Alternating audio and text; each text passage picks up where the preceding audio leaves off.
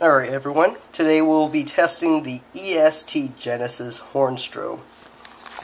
This one has the model number of G1RHOV30. This is actually the uh, older version of the Genesis. As you can see there, there's a 30.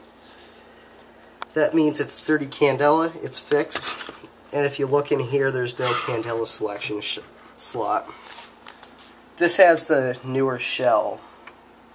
I don't know why I got it like that. So, let's set it off in three, two, one. What?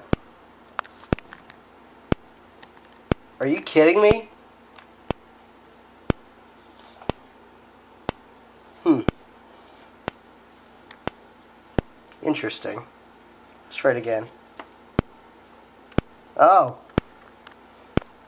Oh, the horn must be busted. I don't know why. I didn't do anything. Anyways, that's it. Hold on. That's it. Actually, if you do listen closely in here, I don't know if you could hear it, but there is a faint code 3 sound.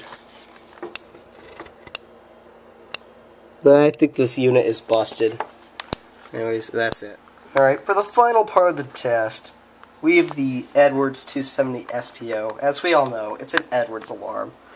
So, let's pull it. Three, two, one. Hmm, there was a click. Interesting. Let's see if we reset it. Screwdriver.